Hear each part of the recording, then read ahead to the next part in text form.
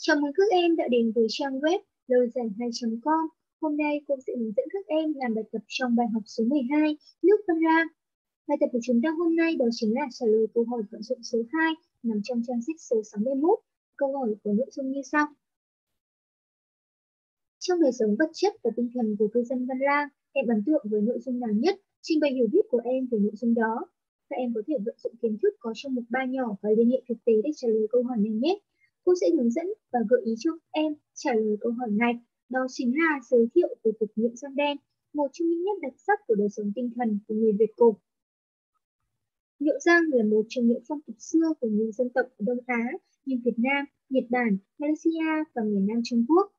Tục niệm răng đen trước hết là do quan điểm thẩm mỹ. Trong văn chương, tục niệm răng và răng đen của người phụ nữ được ca ngợi tôn vinh một nét đẹp không thể thiếu được. Nhuộm răng là tục cổ của dân tộc Việt, cùng với tục ăn trầu đã trở thành nét văn hóa đặc trưng của bộ tộc người Việt để phân biệt với các sắc dân khác. Tục nhuộm răng, ăn trầu là những phong tục truyền thống của nước ta. Mặc dù hiện nay không còn tồn tại, nhưng tục nhuộm răng là một trong những giá trị văn hóa dân tộc cần được trân trọng và lưu giữ. Như vậy, với những gợi ý của cô, các em hoàn toàn có thể trả lời câu hỏi của bài tập vận dụng số 2 đúng không nào?